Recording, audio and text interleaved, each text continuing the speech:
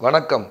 வாழ்க வளமுடன் வாழ்க வளமுடன். அன்பர்களே எங்களுடைய ஸ்ரீ ஜோதிடப்பிடத்திலன் சார்பாக உங்களை சந்திக்க விரும்பும் நான் உங்கள் பண்டிட் விஜய்.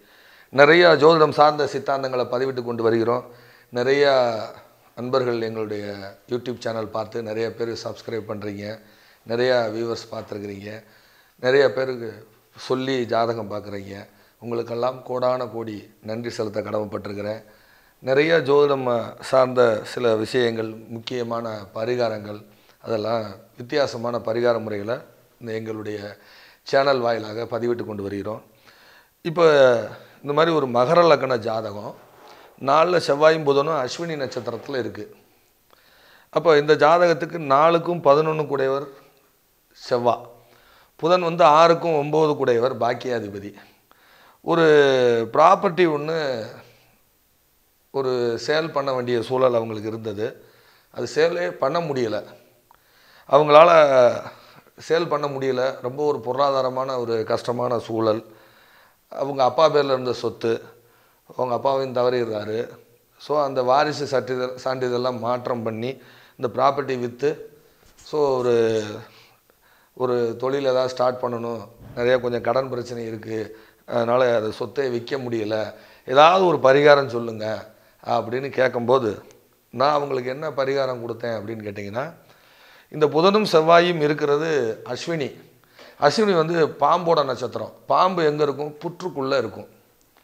இது உக்காந்த வீடு ஆடுன்னு சொல்லக்கூடிய மேசராசி. மேசத்தோட சிம்பல் என்ன? ஆடு. இது உக்காந்த வீடு நாலு. கா இந்த லக்னத்துக்கு ஒன்று ரெண்டு மூணு நாலு. அப்போ நான் என்ன சொன்னேன் அப்படின்னு கேட்டிங்கன்னா சங்கரன் கோவில் பக்கத்தில் நெல்லை மாவட்டத்தில் நாளாட்டின் புதூர் நாளாட்டின் புதூர் அப்படிங்கிற ஊரில் சுயம்புவா புத்துக்குள்ளேருந்து சுயம்புவாக வந்த பெருமாளை தரிசனம் பண்ணுங்க. கண்டிப்பாக உங்கள் சொத்து பிரச்சனை தீரும் சொத்து விற்பனையாகும். ஸோ கடன் பிரச்சனை தீரும் அப்படின்னு சொன்னேன். அவங்களுக்கு அவங்க வந்து கே கேட்டது திருச்சி மாவட்டத்திலேருந்து. நாலாட்டின் புதூர் எங்கே இருக்குன்னு அவங்களுக்கு தெரியலை.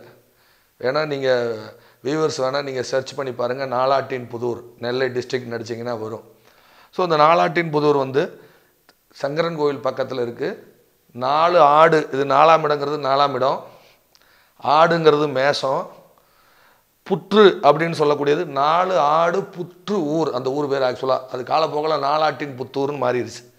ஸோ அந்த புற்று வீடுன்னு சொல்லக்கூடிய நட்சத்திரம் அஸ்வினி கேதுவோடைய நட்சத்திரம். ஸோ அந்த சர்ப்பத்தோட நட்சத்திரத்தில் அது இருக்குது நாலு ஆடு வந்து புற்றின் மீது பால் சுரந்து அதுக்குள்ளே இருக்க பெருமாளுக்கு பால் சுர சுரந்ததாக ஸ்தல புராணம் சொல்கிறது. ஸோ நாலாட்டின் புதுவில் இருக்கக்கூடிய பெருமாளை தரிசனம் பண்ணுங்கள் உங்களுடைய தோஷம் நீங்கி உங்கள் சொத்து விற்பனையாகும் கடன் நிவர்த்தியாகும் ருண ரோக சத்ருஸ்தான நிவர்த்தியாகும்னு சொன்னோம். ஸோ அந்த கோயிலில் போய் தரிசனம் தான் சொன்னோம். தரிசனம் செ- போய் அவங்க தரிசனம் பார்த்து செஞ்சு ப்ராப்பர்ட்டி சேலாகி இப்போ கடன் அடைச்சிருக்காங்க.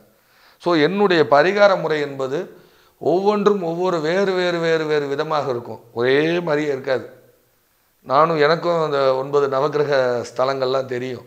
ஸோ நான் அது மாதிரிலாம் சொல்கிறதில்ல அந்த ஜாதகத்தில் எங்கே போனால் சொல்யூஷன் இருக்குன்னா அவங்கவுங்க ஜாதகத்திலேயே இருக்குது வேறு எங்கும் பரிகாரம் இல்லை. இதுக்குள்ளேயே ஒளிஞ்சிருக்கு.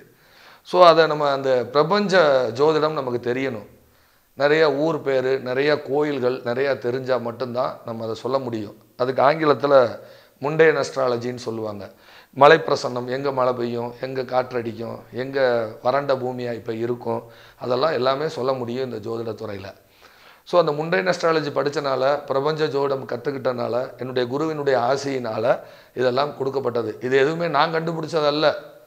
என்னுடைய குருநாதரோட என்னுடைய குருமார்களோட நெருக்கமாக இருந்த பொழுது அவங்க பேசின உதிர்த்த வார்த்தைகள் ஒவ்வொன்றும் முத்துக்களே அதை வச்சு நாங்கள் சொல்லிக்கிட்டு இருக்கோம்.